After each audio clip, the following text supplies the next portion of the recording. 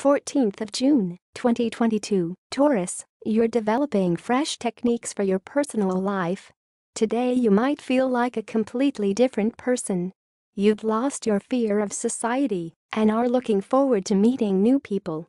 You're likely to sympathize with the goals of a person or a group of people you've just met. Try to meet your requirements and let go of any preconceived notions.